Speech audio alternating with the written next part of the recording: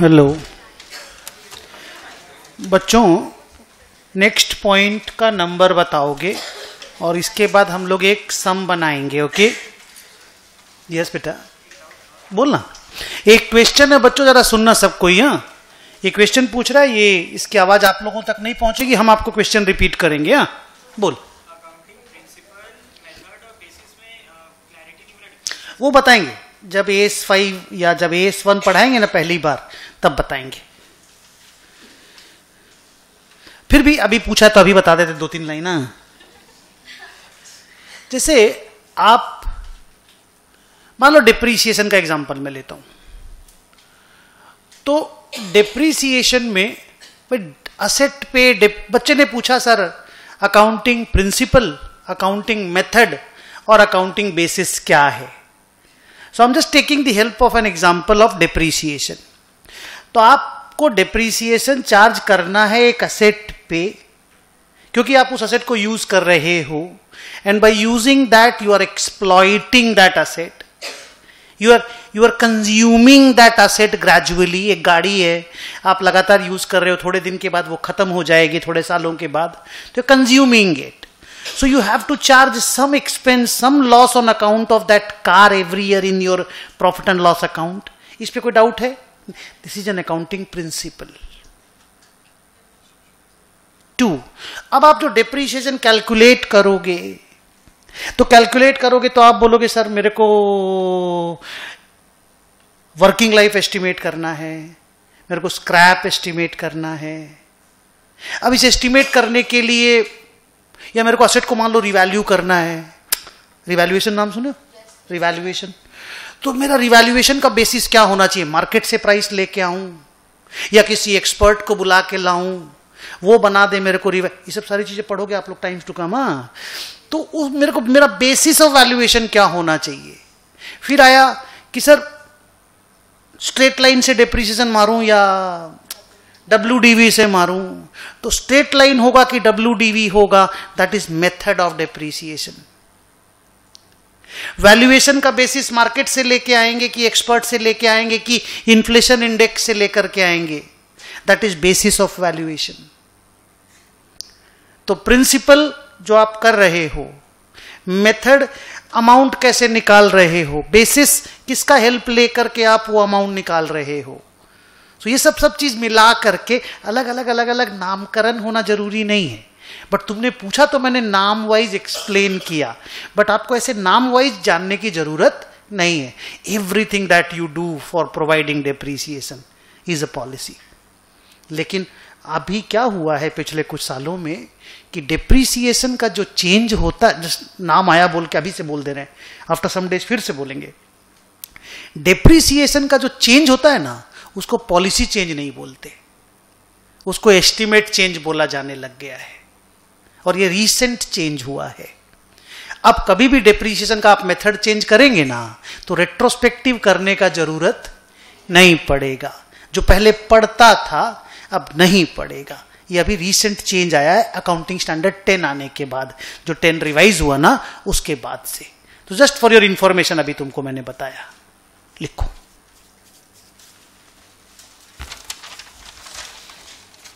क्या लिखा कॉपी में? पैराग्राफ नंबर बताओगे? Nine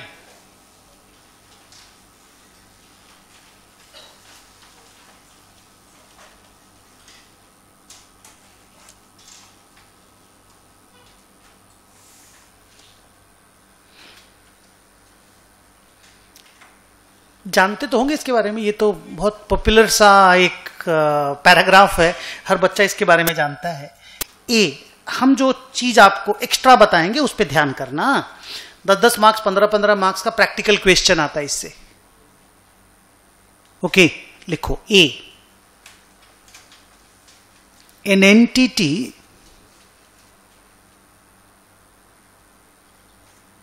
prepares an entity entity businessman company जो भी अपना फिनेंशियल स्टेटमेंट बनाती है ना, हम लोग उसको एंटिटी बोलते हैं। कई बार एंटिटी कई बार बोलेंगे रिपोर्टिंग एंटरप्राइज क्या बोलेंगे? रिपोर्टिंग एंटरप्राइज रिपोर्टिंग मतलब जो अपना फिनेंशियल स्टेटमेंट रिपोर्ट कर रही है, बना रही है, बता रही है। ठीक है? क्या लिखा? An entity prepares its financial statements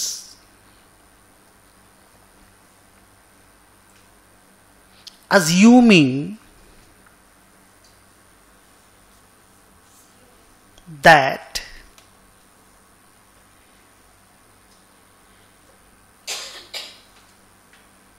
It has.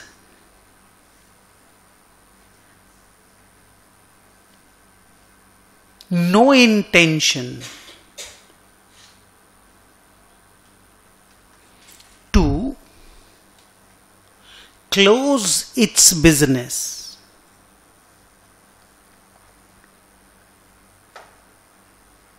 full stop it does not want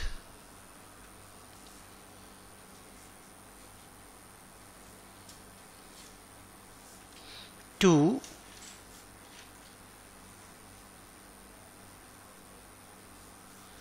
curtail its operations curtail word समझते हो लिखो और लिख के फिर बताओ करटेल वर्ड का मीनिंग समझते हो? कट डाउन, छोटा कर देना। कम कर देना को कर्टेलमेंट बोलते हैं। क्लोज कर देना माने बंद कर देना। कर्टेल कर देना माने कम कर देना। वो क्लोजर के जैसा ही है कर्टेलमेंट तो कोई भी एंटिटी को गोइंग कंसर्न बोलते हैं ना हम लोग all entities are going concern उसके पीछे थॉट प्रोसेस क्या है? कि वो कंपनी कंटिन्यू करेगा for a long period of time उसी को देखिए कैसा वर्ड्स पे मैंने लिखाया है। When an entity prepares its financial statements it believes that बोलो it has no intention to close its business neither does it want to curtail its operations. B में लिखो।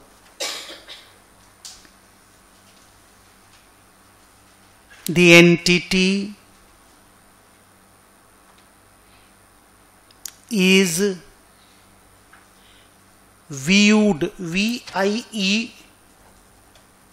ये spelling is viewed oblique considered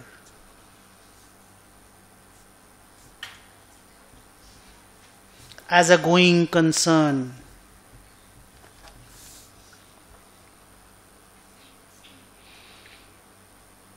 concern यहाँ पे entity को बोलते हैं। आम कंसर्न आम कंसर्न वर्ब वाला कंसर्न नहीं कंसर्न एंटिटी को बोलते हैं। गोइंग माने जो चलता रहेगा। सो एन एंटिटी जो कंटिन्यूअसली चलता रहेगा that's a going concern entity okay that's a going concern full stop आगे लिखो। C number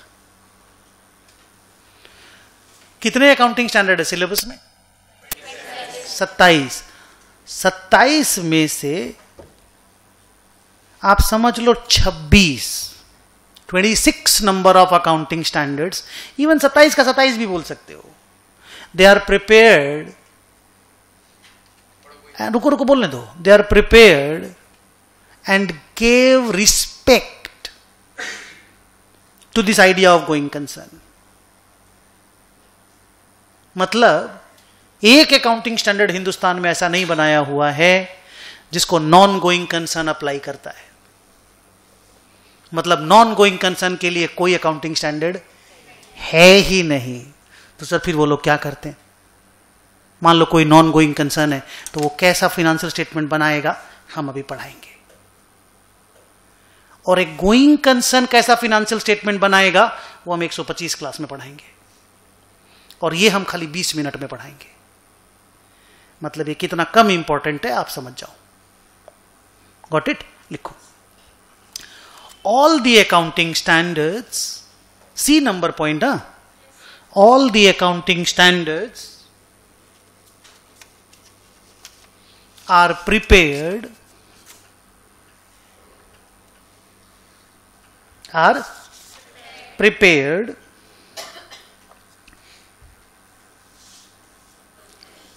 to be followed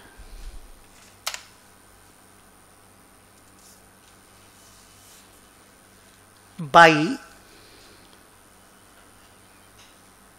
a going concern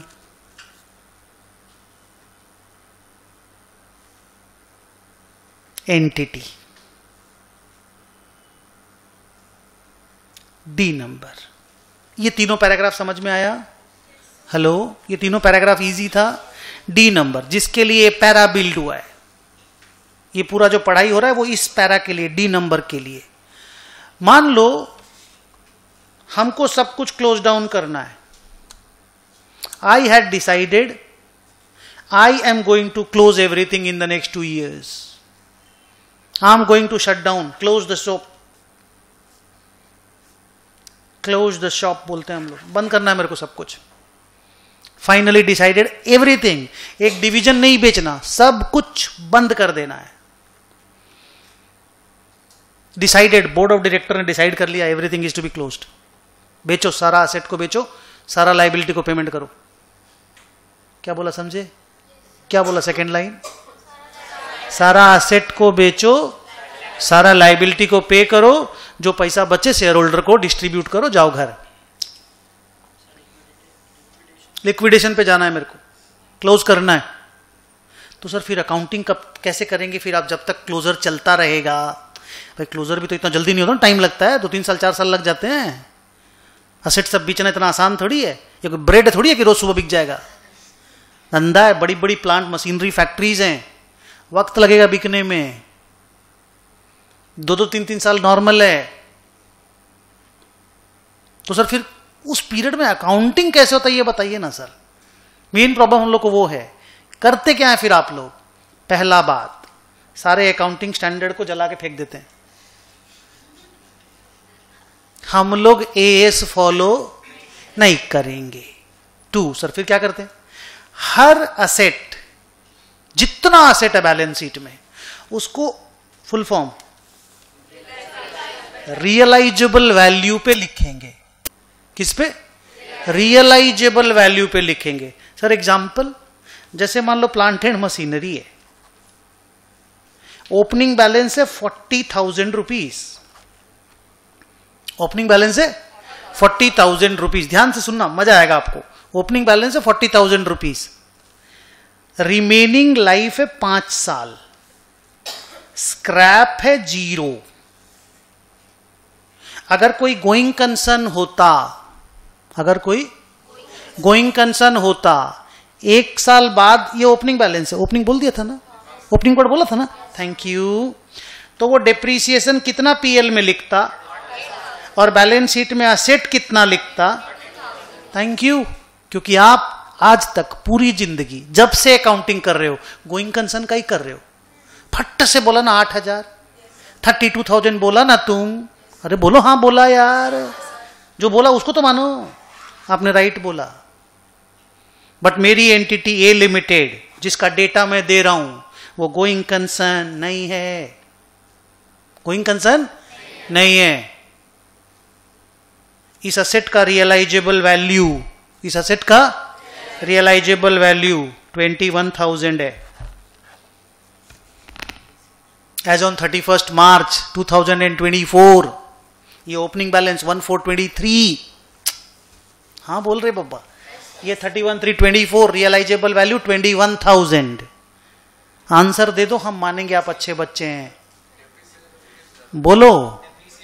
हाँ डिप्रिसिएशन नाइनटीन थाउज़ेंड सर, ये सब ये सब बेकार। ये सब वो करता है जो अपना फिनेंशियल स्टेटमेंट जीसी पे बनाता है। गोइंग कंसर्न पे। हम लोग कौन है? नॉन गोइंग कंसर्न तो सर आप क्या करेंगे? हम अनोखा काम करेंगे। तो सर क्या करेंगे? हम अपनी असेट को रियलाइजेबल वैल्यू पे लिखेंगे। किस पे? रियलाइजेबल वैल्यू पे। कितना है realisable value twenty one thousand opening value forty thousand तो फोर्टी को अगर ट्वेंटी वन बनाना है तो नाइनटीन थाउज़ेंड का डिप्रिसिएशन हो गया ना। हम उन्नीस का डिप्रिसिएशन लिखेंगे। इधर देख जरा। मेरे पास कुछ स्टॉक है। समझ गया ना क्या हो रहा है? सुन जरा। मेरे पास कुछ क्लोजिंग स्टॉक है। क्लोजिंग स्टॉक कॉस्ट है बीस हज़ार। Cost net realisable value please मत बोलना वर्ड सुना हुआ नहीं है। सुना हुआ ना ये word net realisable value of inventory word सुना हुआ है? थैंक यू लाउडली बोलो ना, डांटेंगे नहीं रे बाबा। एनआरवी है थर्टी सिक्स थाउज़ेंड कितना में इन्वेंट्री लिखोगे? ट्वेंटी थाउज़ेंड क्योंकि तुम गोइंग कंसर्न हो। मैं छत्तीस पे लिखूँगा। हेलो क्यों सर आप थर्टी सिक्स तुम क्यों लिखा ट्वेंटी पे बोल? नहीं नहीं, क्यों लिखा? क्यों? क्या रूल था? सर, हम लोग वो विच एवर इज़ लोअर ना, क्या करते हैं ना? क्या करते हैं? बोलो बेटा, डांटेंगे नहीं, बोलो ना। सर, हम लोग ना रूल पढ़े हैं, sir inventories are valued at या रिकॉर्डेड एट कॉस्ट और N R V whichever is lower तो ऐसा तो तुम एस टू में पढ़े हो ना, हम तो एस को जला दिए। हम तो जला दिए, हम तो नॉन गोइंग कंसर्न है, हम तो फॉलो नहीं करेंगे इसको। क्योंकि एस को तो गोइंग कंसर्न वाले लोग फॉलो करते हैं। तो सर, फिर आप क्या करेंगे? हम तो रियलाइजेबल वैल्यू पे वैल्यू करेंगे। और ये रहा रियलाइजेबल वैल्यू तो सर, आप थर्टी सिक्स थाउज़ेंड पे लिख देंगे। हाँ। तो सर, ये प्रॉफिट नहीं लिख दिए आप। स्टॉक को ओवर वैल्यू नहीं कर दिए। तो आप एक एंटिसिपेटेड प्रॉफिट नहीं लिख दिए। अरे तो हम बिकने वाले हैं भाई। ये सब बिकने वाला जब खत्म हो रहा है, अभी कल परसों में बिक जाएगा सब। तो दो काम करते हैं बेटा हम। वन एस फॉलो नहीं करने का। टू सारा असेट को रियलाइजेबल वैल्यू पे लिखने का। और सारा लाइबिलिटीज को पेबल वैल्यू पे लिखने का। रिपीट सारा लाइबिलिटीज को पेबल वैल्यू पे लिखने का। गॉट द पॉइंट असेट्स को रियलाइजेबल वैल्यू पे एंड लाइबिलिटीज को पेबल वैल्यू पे डिप्रीसिएशन की जगह ना मेरा अप्रिसिएशन ऑफ़ फिक्स्ड असेट भी हो सकता है इधर देखो ना तुम लोग 40 का 21 देखा तो तुम लोग क्या बोला 19,000 is depreciation for non going concern and for going concern it is 8,000 तुम बोला ना मान लो मेरा मार्केट प्राइस होता 46,000 तो मेरे को क्रेडिट साइड में डेप्रीसिएशन लिखना पड़ता। तो फिर मैं डेप्रीसिएशन वर्ड नहीं लिखता, मैं बोलता appreciation in the value of the asset तो सर, ये तो गोइंग कंसर्न क्या, ये तो कंजर्वेटिज्म के अगेंस्ट में है। तो हमको कौन सा कंजर्वेटिव होना है? हमको तो मरना है। So when you close the shop दो काम करना है। रिपीट करो। एस फॉलो नहीं करने का असेट एंड लाइव असेट को रियलाइजेबल वैल्यू पे वैल्यू करने का लाइबिलिटी को पेएबल वैल्यू पे वैल्यू करने का and accordingly PL balance sheet बना देने का। अच्छा सर पीएल बैलेंस शीट आप फिर भी बनाएँगे? हाँ बनाएँगे। वो तो जब तक पूरा दुकान बंद नहीं होता, तब तक बनता रहेगा।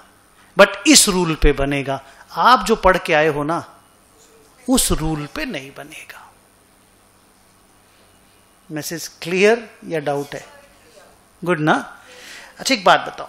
आप लोग ये करते हैं क्या? जैसे कोई क्रेडिटर है? क्या? क्रेडिटर फोर्टी थाउज़ेंड रुपीज़ है मेरी बैलेंस शीट में। ठीक है? इसको अगर पेमेंट करेंगे ना हम तो हमको डिस्काउंट मिलने वाला है फाइव थाउज़ेंड रुपीज़ इसने हमको बोला है कि विद इन थ्री मंथ अगर आप पे कर देते हो विद इन थ्री मंथ्स आप अगर पे कर देते हो तो आपको फाइव थाउज़ेंड रुपीज़ का डिस्काउंट मिलेगा। आपसे क्वेश्चन पूछ रहा हूँ। क्या आप इस फाइव थाउज़ेंड को इसी साल के इनकम में लिख लेते हो? गुड क्यों नहीं लिखते हो?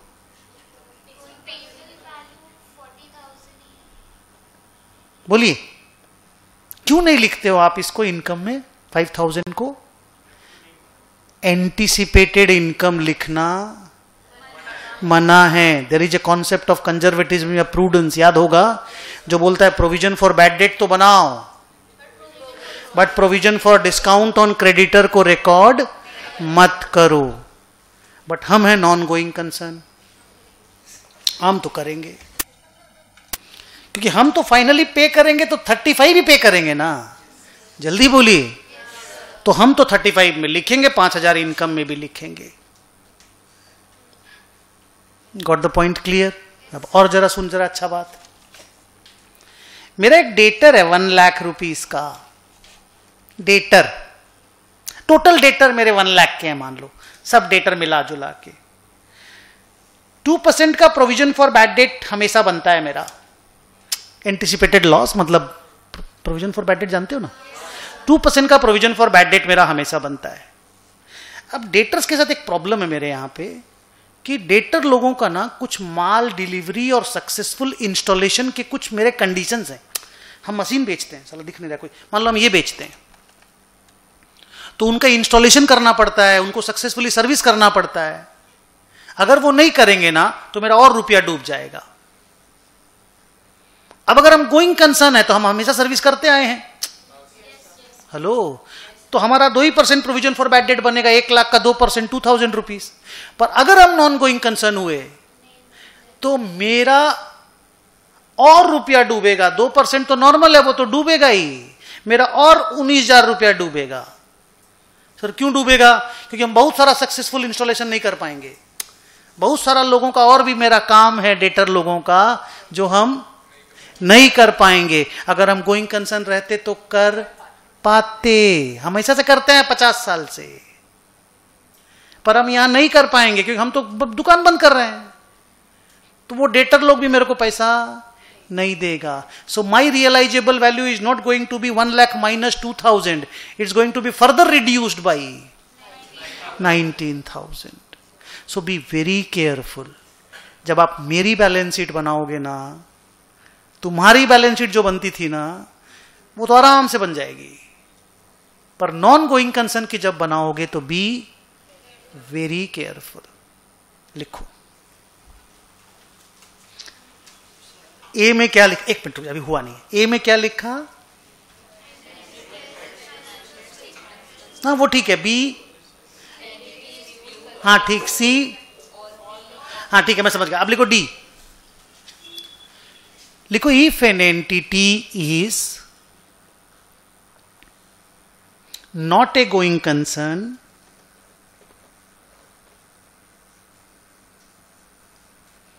is not a going concern, then.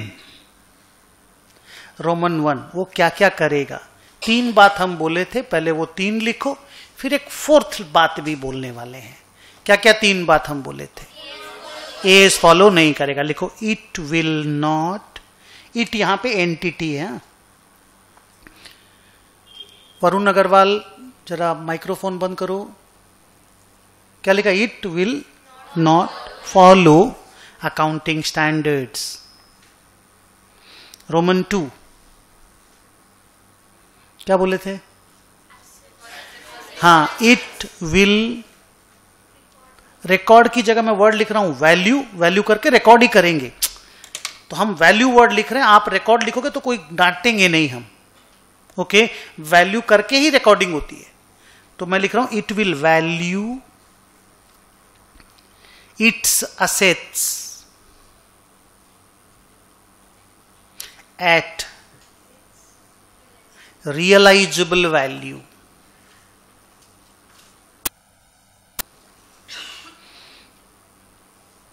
C number माने Roman three sorry Roman three it will value its liabilities.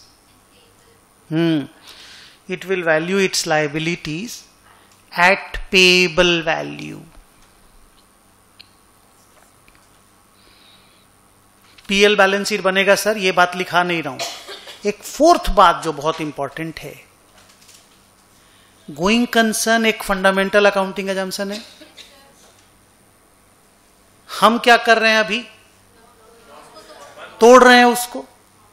अगर हम गोइंग कंसर्न रहते तो हमको बताने का ज़रूरत नहीं है कि हम गोइंग कंसर्न के हिसाब से फिनेंशियल स्टेटमेंट बनाया है। लेकिन अगर हम नॉन गोइंग कंसर्न हैं तो डिस्क्लोज करना, याद है कल कल बोले थे ये बात? तो वो वाला बात लिखा रहे हैं। Fourth number point it has to give a note to give give a note note माने नोट्स ऑन अकाउंट्स में एक पैराग्राफ बनाएगा। It has to give a note stating S T A T I N G stating that the financial statements are not prepared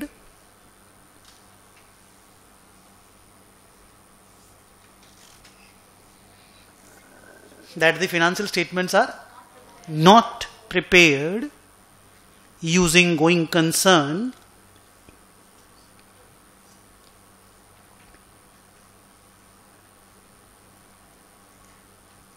full stop it will also state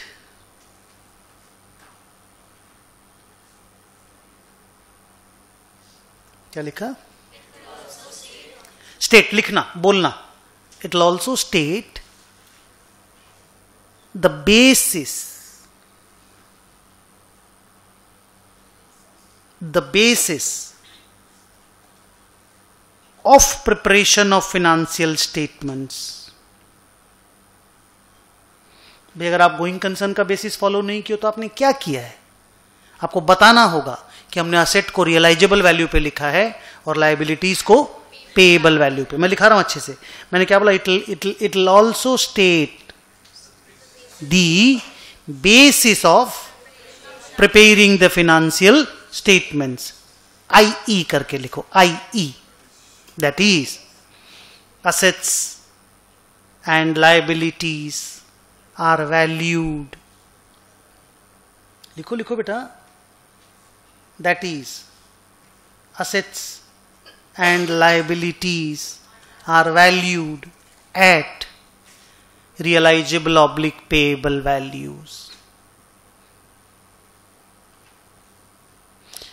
दो sentence लिखना पड़ता है।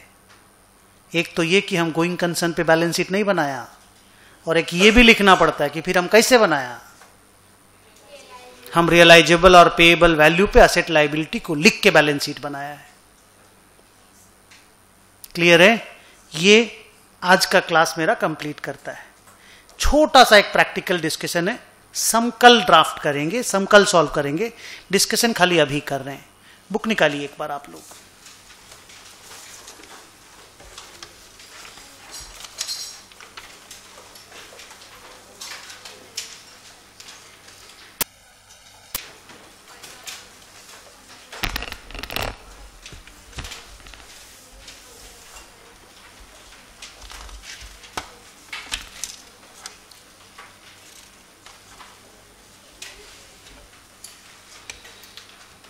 Page number three खोलिएगा।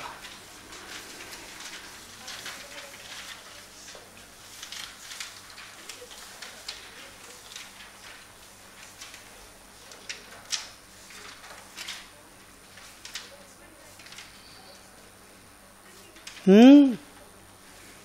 खोले। Page number three. Question number one देखिएगा। हम लोग आज ना खाली डिस्कस करेंगे कल इसको पेन एंड पेपर पे सॉल्व करेंगे। आज हम लोगों के पास टाइम नहीं है। आई जस्ट वॉन्टेड सो कि ये किस तरह के सम आपके एग्ज़ाम में आ सकते हैं। So see it will do it tomorrow पढ़िए क्वेश्चन को। Question number one page number three आप लोगों को अगला पाँच मिनट तक रीड करना है। Just read it carefully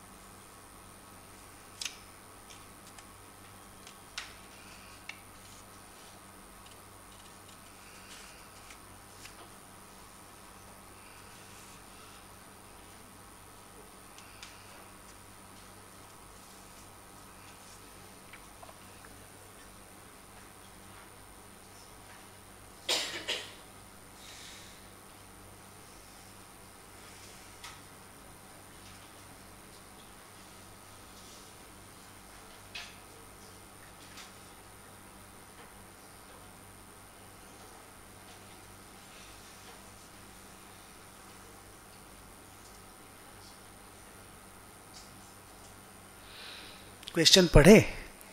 कोई भी एक वर्ड सेंटेंस कुछ भी चीज़ जो नहीं समझ में आया, पहले पूछो। Okay okay. एक बच्ची ने बोला, सर आई नंबर पॉइंट का मीनिंग बताइएगा। हम बताएँगे। और कुछ? E number point deferred cost क्या होता है? हेलो डेफर्ड कॉस्ट क्या होता है? Okay okay. ठीक है। पहले आप ये दोनों बात सुनिए अच्छे से, उसके बाद हम लोग क्वेश्चन के बारे में बात करेंगे एंड देन घर चलेंगे। डेफर्ड एक्सपेंडिचर का मतलब है, जिसको आप लोग इलेवेंथ ट्वेल्थ में बीकॉम फ़र्स्ट ईयर वगैरह में डेफर्ड रेवेन्यू एक्सपेंडिचर के नाम से सुनते थे। मान लीजिए, मेरी कंपनी का फॉर्मेशन हुआ। अभी एक नया कंपनी बनाया, मैंने मान लो, Lakshya advisory services private limited मेरे चार्टर्ड अकाउंटेंट ने मेरे से चालीस हज़ार रुपया लिया कंपनी बनाने का।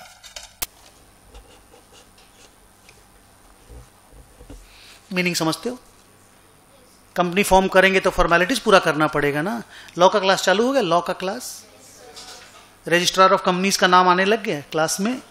कंपनी फॉर्मेशन करने में खर्चा लगता है ना? आर्टिकल्स ऑफ़ एसोसिएशन बनाना है मेमोरेंडम बनाना है, सब कुछ तो करना पड़ेगा ना। नेम क्लॉज अप्रूव कराना है। तो सब मिलाकर के उसने फोर्टी थाउज़ेंड का मेरे से फ़ीस लिया। हम पेमेंट कर दिए। क्या बोलते हैं इस एक्सपेंस का नाम? यस नाम मालूम है आप लोगों को। क्या नाम है फिर से बोलो?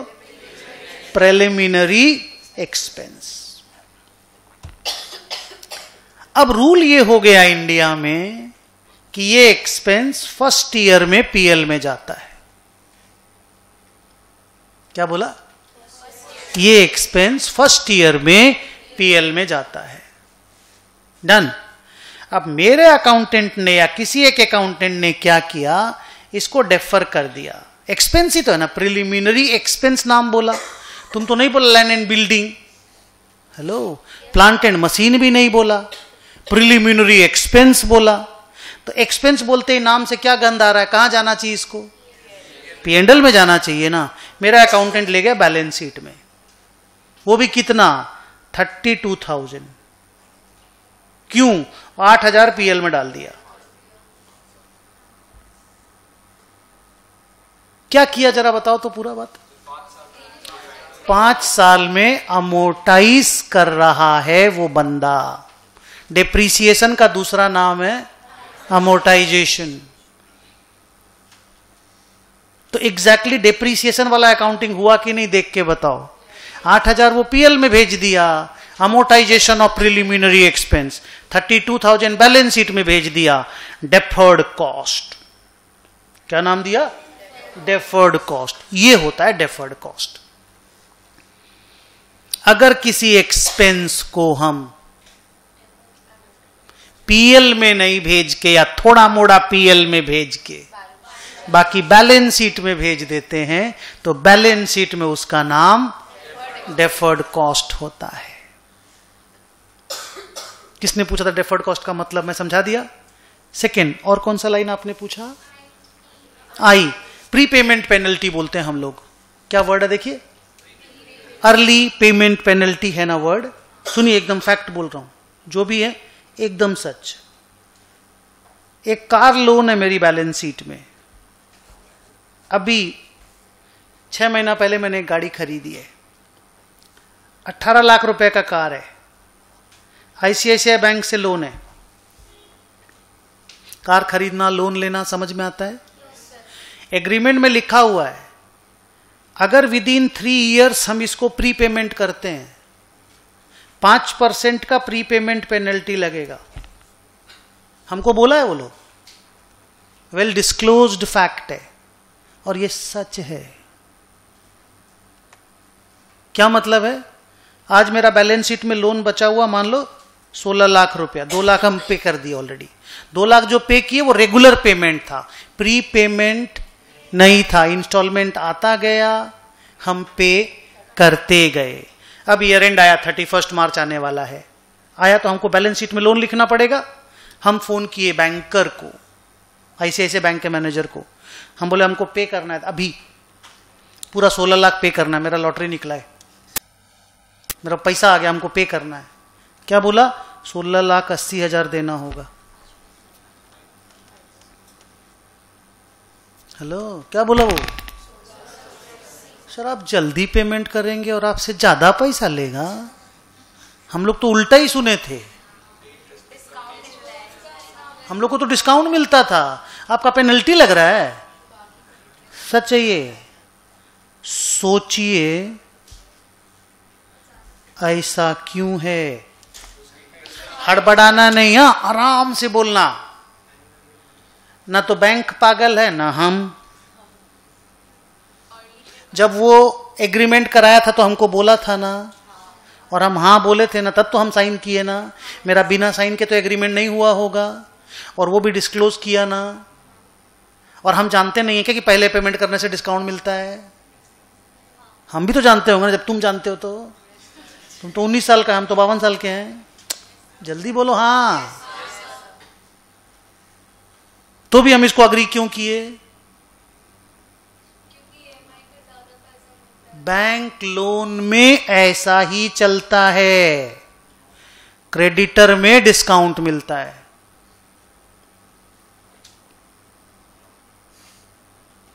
सर, क्या फिर से बोलिए तो? आप सोचिए। सोचना पड़ेगा। अभी मैं खोला नहीं अपना कार्ड। क्रेडिटर को पहले पेमेंट करो वो डिस्काउंट देगा। बैंक लोन को पहले पेमेंट करो वो पीपीपी लेगा। क्या PPP full form? Prepayment penalty लेगा। वो बच्ची बोलने का कोशिश करने वाली है। वो बेचारी का मुँह से कुछ ना कुछ निकलने का कोशिश हो रहा है। वो बच्चा भी राइट बोल रहा है रेड शर्ट क्या नाम बेटा? श्रीतम ओके रुकिए उस बच्ची सुनते हैं, वो कुछ बोलने की कोशिश करिए हमको लगता है वो राइट बोलेगी। क्यों बैंक वाला लोग लोन पेमेंट में प्री पेमेंट पेनल्टी माँगता है? क्यों क्रेडिटर लोग जल्दी पेमेंट करते हैं तो डिस्काउंट देता है? एक मिनट, वो बच्ची बोल रही है।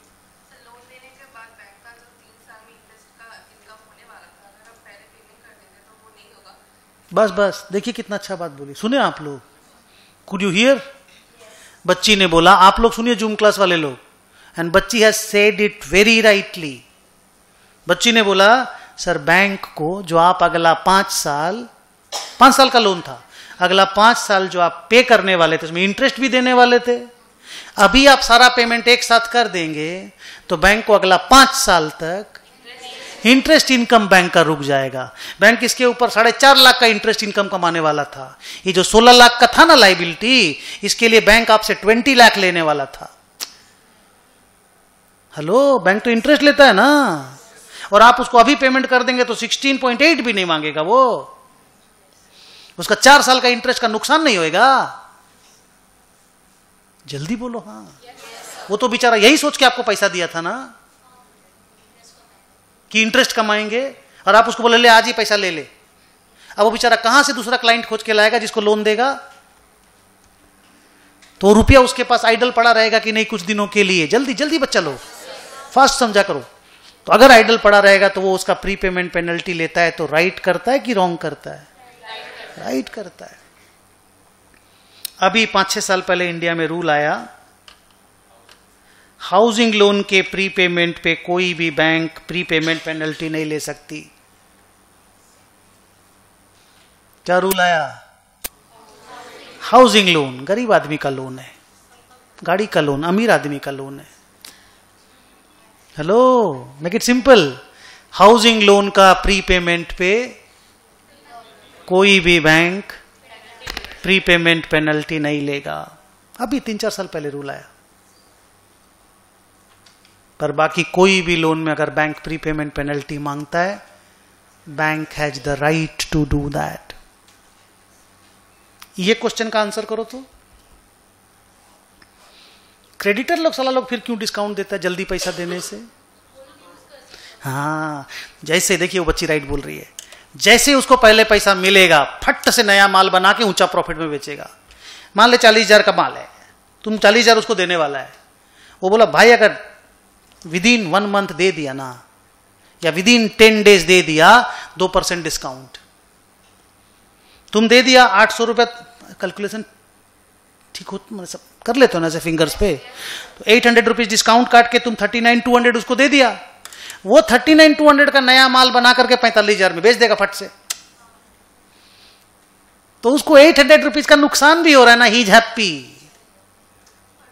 क्योंकि वो पाँच हज़ार रुपया कमा लेगा उससे फट से। इतना ना डिमांड है कि फट से नया माल बना करके बेच देगा। और पुराना माल ने भी तुमसे प्रॉफिट कमाया होगा जी। बैंक तो तुमसे इंटरेस्ट भी नहीं कमाया, तुम सलाह अभी से पेमेंट कर देगा। बैंक का तो अभी इंटरेस्ट का मीटर चालू हुआ था। और तुम प्री पेमेंट पेनल्टी करके, मैंने प्री पेमेंट करके, उसका बेचारे का इनकम ही बंद कर दिया। तो pre payment pre payment penalty मांग कर is he committing crime is the bank committing crime no it's rightfully done तो क्रेडिटर डिस्काउंट क्यों देता है? और बैंक पेनल्टी क्यों लेता है? लॉजिक के साथ क्लियर हो गया? दो तीन मिनट और लेते हैं just two three minutes balance sheet कौन से दिन का है जी? क्वेश्चन पेपर वाला। Thirty first March twenty one का। और आपको जो बनाना है balance sheet P and L कब का बनाना है? ट्वेंटी वन ट्वेंटी टू का ना, एक साल बाद का बनाना है ना यस नो परचेजेस दिया हुआ है। ढूंढो ना प्लीज़ यस नो बोलो। सेल्स दिया हुआ है। ओपनिंग स्टॉक तो बैलेंस शीट में होगा। Opening stock opening closing stock देखो ना। नहीं नहीं, देखो। है नहीं है, नहीं बोल रहा हूँ, देखो। देखा? गोइंग कंसर्न वाला क्या करेगा? गोइंग कंसर्न वाला क्या करेगा? सर वो थर्टी टू थाउज़ेंड पे लिखेगा। नॉन गोइंग कंसर्न वाला क्या करेगा? वो फोर्टी पे लिखेगा। तुम थर्टी टू पे क्यों लिखे? अच्छा तुम गोइंग कंसर्न हम नॉन गोइंग तुमको अकाउंट्स का नॉलेज हमको रियलाइजेबल वैल्यू का। ओके तुम थर्टी टू पे क्यों लिखेगा? कॉस्ट और एनआरवी विच एवर इज़ ये हम लोग कल बनाएँगे हाँ डोंट वरी आज खाली डिस्कस कर रहे हैं।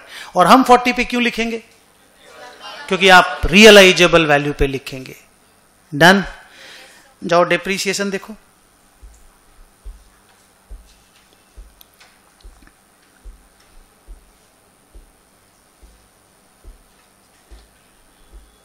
मिला? तुम क्या करोगे? तुम मतलब when you are a going concern calculate करोगे? कैसे कैलकुलेट करोगे? Sir 65 divided by 65,000 divided by 5 यानी तेरा 13,000 आएगा तेरह हज़ार आएगा। अरे ठीक है ना? मेरा देखो। मेरा देखो ठीक से हड़बड़ाओ मत। नहीं डिप्रीसिएशन ही है। मेरा 5000 का डिप्रीसिएशन है। बोलो कैसे? सर आप रियलाइजेबल वैल्यू पे लिखेंगे, आपका ओपनिंग बैलेंस है sixty five thousand closing balance बन जाएगा सिक्सटी थाउज़ेंड तो आप डिप्रीसिएशन माइनस करके निकालेंगे। अग्रीड पक्का? लास्ट वाला बात बोल के दिखाओ तो मानेंगे you are a good student सुनो कौन सा वाला। आई नंबर पढ़ो। पढ़ लिए, रुको रुको क्वेश्चन पूछने दो। पढ़ लिए, ऊपर में लोन देखो। ऊपर में ओपनिंग बैलेंस शीट में लोन देखो लोन मिला? अगर कोई गोइंग कंसर्न रहा गोइंग कंसर्न गोइंग कंसर्न तो वो लोन का रीपेमेंट आराम से करेगा जैसे करना चाहिए। लेकिन अगर कोई नॉन गोइंग कंसर्न है तो उसको असेट को बेच के लाइबिलिटी का पेमेंट करना है। जल्दी बोली हाँ या ना? तो इस 2500 के बारे में से something which make me feel good फिर से बोलो ज़ोर से। Non going good boy good girls non going concern वाले को ये ट्वेंटी फाइव हंड्रेड रुपीज़ देना होगा। तो वो एक लाइबिलिटी और एक लॉस दोनों रिकॉर्ड करेगा. कभी भी आदमी लॉस लिखता है, साथ में लाइबिलिटी होती है. An expense comes with a liability an income comes with an asset उसी को बोलते डुअल एस्पेक्ट कॉन्सेप्ट ओके खैर, ये बात बाद में. लेकिन गोइंग कंसर्न वाला क्यों नहीं लिखेगा? जी, पच्चीस सौ रुपया का लॉस क्योंकि उसको थोड़ी प्री पेमेंट करना है, वो अपना आराम से देगा ना, उसको जल्दी पेमेंट करने का थोड़ी हड़बड़ी है। पर नॉन गोइंग कंसर्न वाले को तो पेमेंट करना है, वो तो खत्म करेगा अपना असेट लाइबिलिटी को। सो दैट्स इट कल मिलते हैं। कल ये वाला सम बनाएँगे।